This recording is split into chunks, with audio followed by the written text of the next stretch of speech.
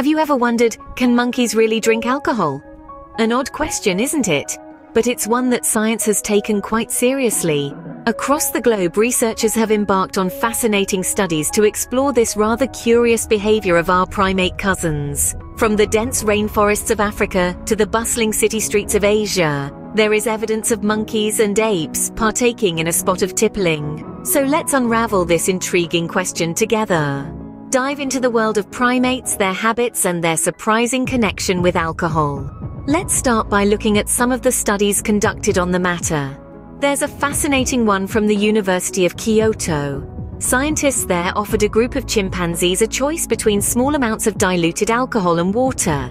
The chimps, it seems, preferred the alcohol, even going as far as to consume it until they showed signs of inebriation. But it's not just in laboratories where we see this behavior.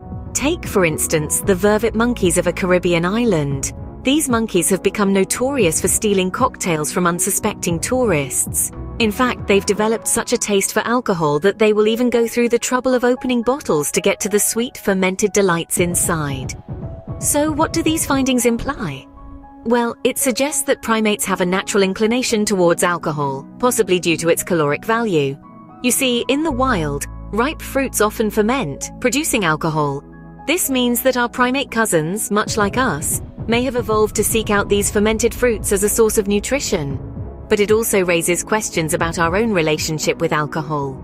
Could it be that our love for a good glass of wine or a cool beer has its roots in our primate past? Seems like our furry friends do have a taste for the fermented delights. But how do these creatures react to alcohol and what does it mean for them? Let's dive right in. When monkeys consume alcohol, they exhibit changes in behavior that are strikingly similar to those seen in humans. Some monkeys become more social and playful, while others turn aggressive or reclusive. The levels of these behavioral changes often correlate with the amount of alcohol consumed, much like in people.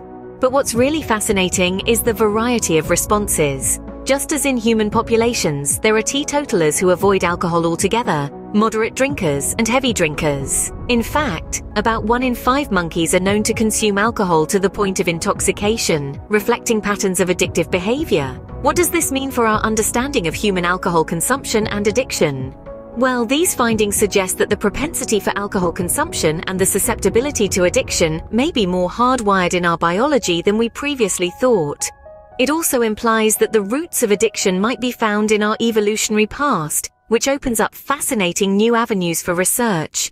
Moreover, the similarities between monkeys and humans in their responses to alcohol could be invaluable in the development of new treatments for alcohol addiction.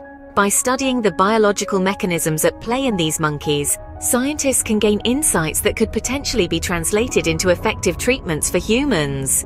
So it's not just us humans who might need to watch our intake. So what have we learned from this fascinating exploration? We've embarked on quite the journey, uncovering the curious case of our tippling primates. We've discovered that just like humans, some monkeys do indeed have a penchant for alcohol.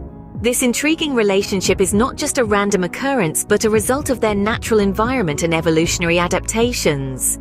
Our exploration took us through the science behind this claim. We found studies that showed how certain monkeys in the Caribbean have developed a taste for alcohol by consuming fermented fruits.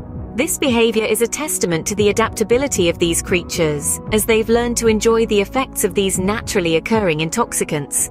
We also delved into the behavior and implications of these findings.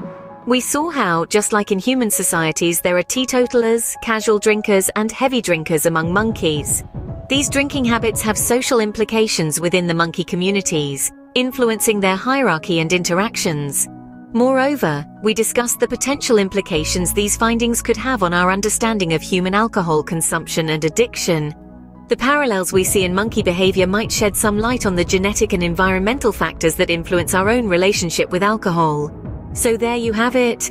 Our exploration into the boozy tale of monkeys has revealed some truly fascinating insights. Now, isn't that something to ponder? Next time you see a monkey, you might just wonder if it's eyeing your beer.